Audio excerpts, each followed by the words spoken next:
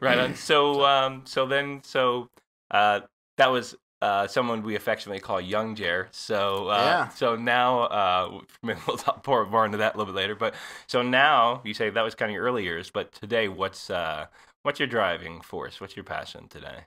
Um, Since you switched modes, you say you had to kind of switch out of that ultimate competitor mode, I guess, perhaps, and then Yeah.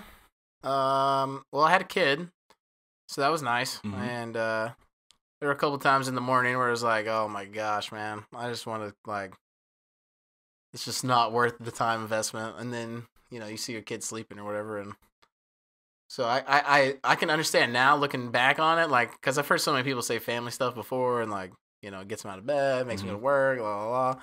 And so I can kind of I can empathize with that now. I think that's a real thing. Uh, but also just trying to just trying to live a life where uh, you can witness to God. And I got saved after my kid was born. Mhm. She was probably a year and a half. So that was probably a year and a half ago. She's three now. But uh, so now I just try to live in a way that you know someone can look on me and and hopefully find Christ in my life, uh, just from looking in.